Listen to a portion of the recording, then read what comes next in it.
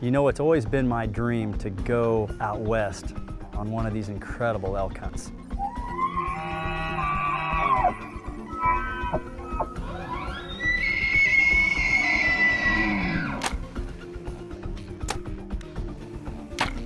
So here we are in front of this amazing I cannot believe that just happened. You know, sometimes in a dream, monsters appear.